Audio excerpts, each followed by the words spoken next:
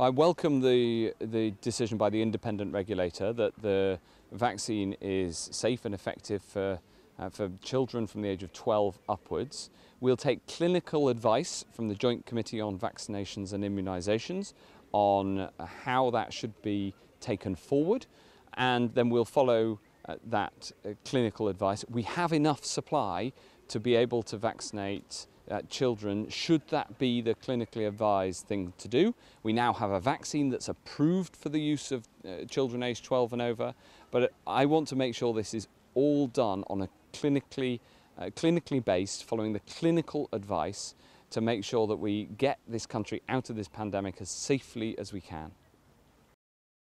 The vaccines uh, in use in the UK, both the Pfizer vaccine and the Oxford AstraZeneca vaccine and the Moderna vaccine, the three of them, uh, they are all effective against the new variants uh, after two doses. It's critical people come forward for their second dose.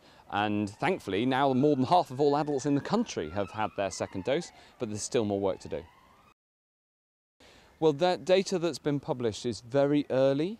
Uh, we do not yet, we have not yet seen data that, uh, that means with, with any confidence that there's an impact on your likelihood of being uh, in hospital um, as a result of catching COVID. But obviously, we're both vigilant about this all the time, and also we publish the data uh, that we have as soon as we have it.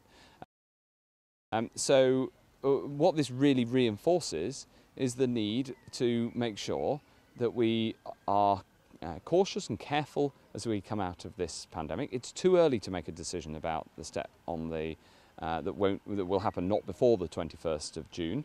Uh, we're looking at the data every single day, and we'll make a decision and publish it uh, later in this month.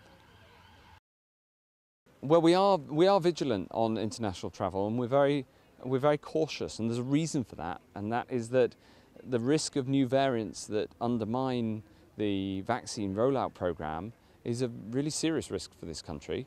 And so we only put countries on the green list when we're, uh, when we're highly confident that it's safe to travel there. Unfortunately, we did see an increase in the number of, uh, of a new variant uh, in uh, Portugal.